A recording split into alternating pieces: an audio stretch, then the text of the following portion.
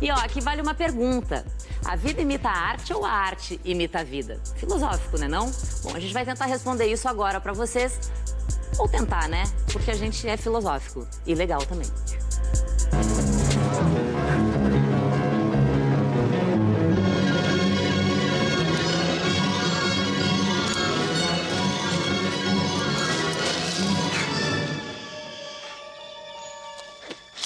O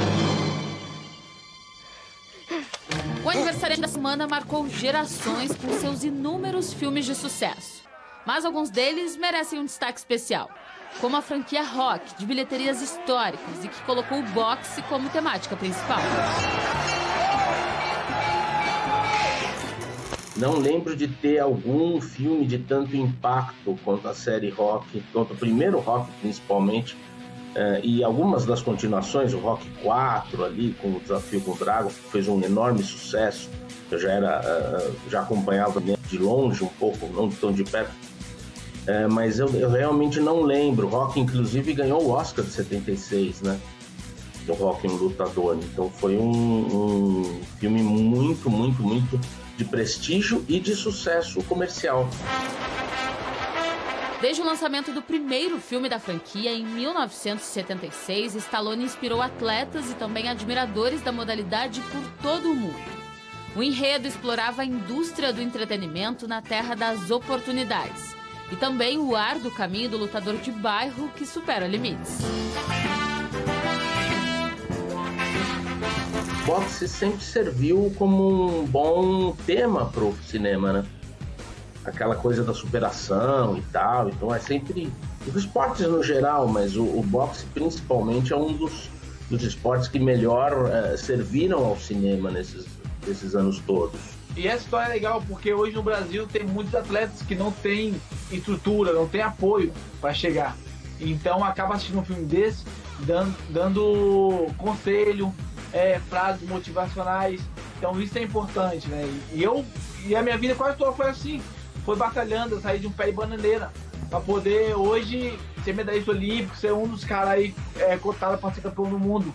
Apesar de tantos atletas se identificarem com a história de Rock Balboa, a situação atual do Brasil com relação ao boxe em pouco se parece com as cenas tão famosas estreladas por Stallone.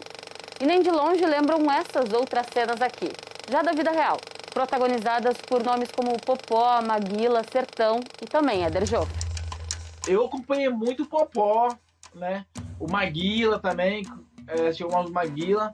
Eu acho que o boxe profissional, naquela época, tinha mais apoio, tinha mais é, televisão, é, televisão, né? Passava em TV aberta. Hoje em dia é muito difícil, né? É, no Brasil, acho que poderia estar melhor, sim. Depois dos anos 2000 aí, o boxe no Brasil se apagou um pouco, né? E olha que Patrick há bem pouco tempo se tornou campeão mundial dos médios ligeiros pela Organização Mundial de Boxe, uma das quatro entidades mais importantes da modalidade. Há 15 anos o Brasil não chegava tão longe e mesmo assim poucos holofotes e pouco incentivo também. Eu acho que a gente tem que apoiar o atleta no começo, né? Que é a parte mais difícil aqui no, no Brasil, né? É, quando a gente está começando, a gente tem que ter mais suporte. O do governo, acho que tem que ajudar, ele vem ajudando, mas tem que melhorar. Uh, o, o dirigente tem que fazer bons eventos uh, de qualidade, com mais constância, né? vários eventos, não só um ou dois no ano, para e trazendo o olhar do público, da mídia, uh, descobrindo novos talentos, futuros campeões, a gente fazer novos campeões e dar continuidade nesse trabalho. Né? Tivemos campeão mundial o Popó, e aí depois de muito tempo não tivemos mais. E recentemente tivemos o Patrick, mas não foi um cara que foi muito falado pela mídia. Então acho que falta um nome forte pro boxe profissional voltar novamente é, para a TV aberta no Brasil. Esquiva já fez história no boxe olímpico com a conquista da medalha de prata em Londres 2012 e agora quer também deixar seu nome registrado entre os maiores do boxe profissional e ajudar a reintroduzir no brasileiro a cultura de apreciação à nobre arte. É desde a minha infância completa, eu estou lutando para conseguir um cinturão, para manter minha família, trazer o cinturão para o Brasil. Então, eu fico feliz de poder lutar o cinturão, chegar a lutar e com capacidade grande de poder ir lá conquistar. Com um cartel de 28 vitórias, sendo 20 por nocaute, Esquiva está a duas lutas de alcançar o tão sonhado objetivo. Dia 28 de agosto, ele encara a eliminatória para o título mundial, que pode o colocar na grande decisão pelo cinturão. Eu já ouvi muito, muito amigo meu falando, fã meu falando o boxe, é, você tem que ser campeão um pouco levantar, né? Então, é, eu acredito que eu tenho um peso muito grande para carregar, eu carrego um peso muito grande, né? Mas eu tô sempre treinando 100%, tô sempre confiante, acreditando, né, que tudo é possível e vencendo minha luta, fazendo o que é o mais importante, vencendo. Eu sei que é um peso, mas tenho certeza que quando eu for campeão do mundo, não só eu, não só eu e minha família vai comemorar, mas sim o Brasil inteiro. Além de reinjetar a paixão pelo boxe, Esquiva também pode fazer reviver o sucesso das telonas de cinema.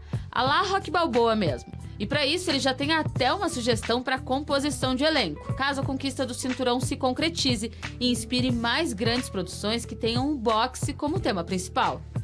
Fosse para escolher um ator para contar a minha história, passar por mim, eu acho que eu escolheria.